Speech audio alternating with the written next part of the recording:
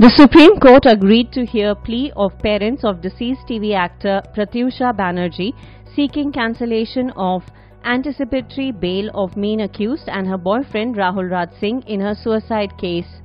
A bench of justices posted the case for hearing on May 30th after the parents contended that Rahul would tamper with the evidence and free and fair probe would not be possible.